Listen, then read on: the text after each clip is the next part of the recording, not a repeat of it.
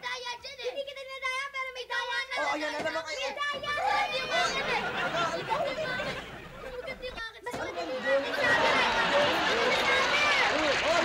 Ay, ano? Andiyan kanto, nadidili ko yung bangay ngayan nyo ah. Ano ba yung eh, pinagtatalunan nyo dyan? Eh, itong dalawa tayo, eh, nagtatalo ata sa drawing. Kayo na lang ako mausap dyan sa dalawang yan. Drawing? Yung pinagtatalunan nyo, drawing? Sino nagdo-drawing? Ito po, Tito Kevin, no? Tignan nyo po. Maganda po itong ginawa kong bulaklak, di po ba? Bulaklak? Nature. Bulaklak na nito, si Charon. Buti nga sa'yo. Bulaklak na, ah, ano ito? Ro- rose ba to? Ah, nature to pag bulaklak, siyempre. Maganda.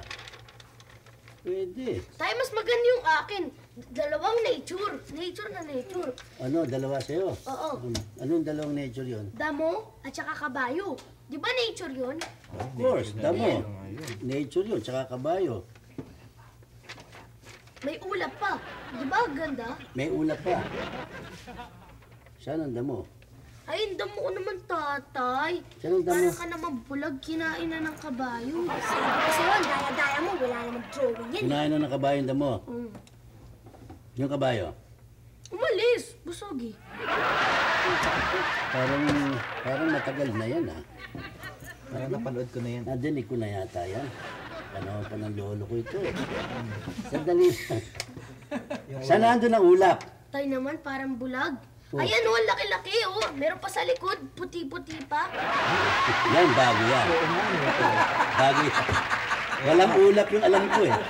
Ay, mas bago yung sa akin, Tay. Oh, Mas bago to, Tay. Tinan nyo, ang ganda-ganda ng ginawa ko. oh. ano naman yan? Si Whitney Tyson tsaka si Mike Tyson nag-date sa loob ng kuweba. Brown out.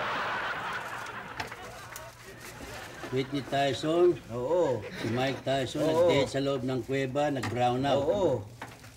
Eh, wala ako nakikita. Ay, talagang wala kayong makikita dyan, Tay. Eh sa itim ba naman ni Whitney Tyson tsaka ni Mike Tyson, ipasok mo sa loob ng kuweba tapos nag-brown out, may makikita pa ba kayo?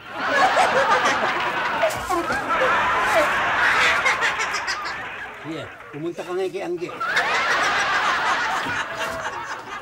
Sumbong ka. Sumbong ka kay Angge. Pasok ka sa loob ng kuweba.